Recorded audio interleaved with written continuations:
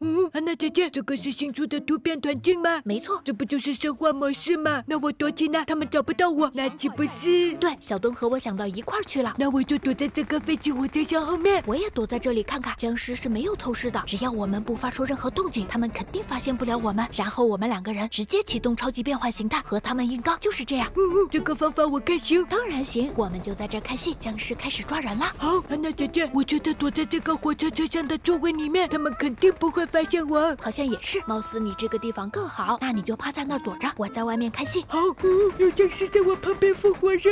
别急，他还没有发现我们，继续躲着，别出声。好，嗯，有个僵尸过来了。不行，当机立断，为了小东，我要把僵尸引开，开始秀操作，疾跑加滑铲，快速把僵尸甩在后面。像我这么聪明的女孩子，当然不能下去送死，所以我选择在屋顶上面有僵尸挡路，快速跳过去，然后走位外加滑铲，差点凉凉。这个时候赶紧滑铲过去，以最近的速度爬上大仓屋顶。下一步当然就是跳到对面集装箱。一个滑铲加跳跃，完美踩中，立刻回头发现僵尸也过来了，我赶紧下去，又继续滑铲，让僵尸措手不及。三一，时间到，成功秀了一波跑酷。嗯，这也太厉害了吧！这算啥？再来一局，我还没玩过瘾呢。这局就再跳到这里来，只要我打得好，僵尸就别指望抓到我。小豆，赶快过来！好，我闪射。哎呀，掉下去呢！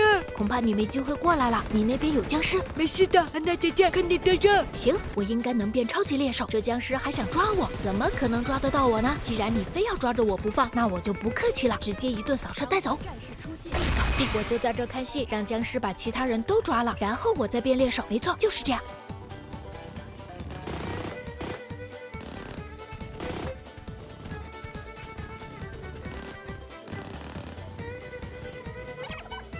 好，启动超级变换形态，开始大杀特杀。